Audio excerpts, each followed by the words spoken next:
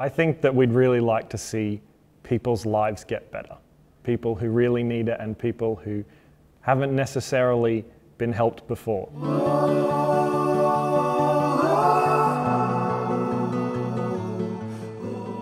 Cystic fibrosis is a genetic condition and amongst a number of symptoms it can lead to the buildup of a thick mucus in the lungs. And if this mucus stays in the lungs, it can harbour infection, which will result in patients spending sometimes multiple weeks in hospital on heavy antibiotics.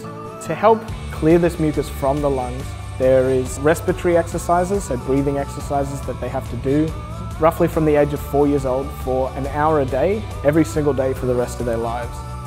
Our project started as an undergraduate thesis project at UQ. Uh, essentially our thesis project was to build a recording device that would allow the doctors to understand better what exercises the children were doing and also turn it into games for the kids.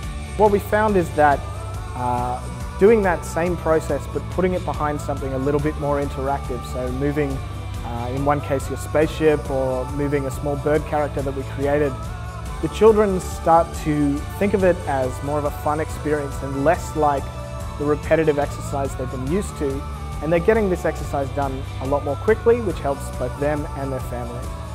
The iLab Accelerator was a organisation inside the university that takes people who are not necessarily experienced in business matters and they help them to grow their idea into a business.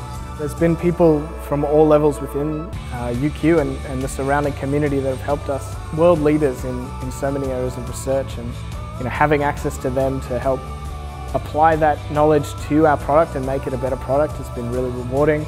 We go through the, the engineering program here at UQ and we learn so many, so many technical skills, but really applying them to something you know, out there in the world that has the potential to really change the world not only in a technical sense, but you know, improve somebody's life. To us, that's the ultimate goal of, of being an engineer, is applying that technology to make the world a better place.